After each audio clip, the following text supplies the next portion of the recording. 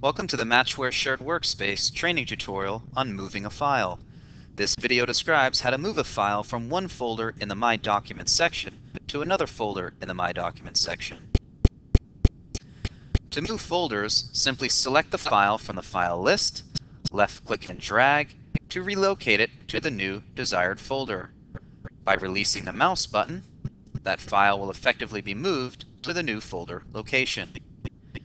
It's important to reiterate if this folder has any specific sharing properties, that file will then inherit the folder's sharing rights.